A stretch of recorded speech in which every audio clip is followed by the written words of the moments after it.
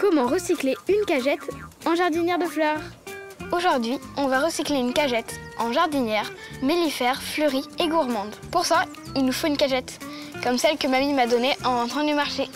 Comme ma cagette est trouée, j'ajoute un feutre géotextile. Comme ça, ça va nous éviter d'en mettre partout.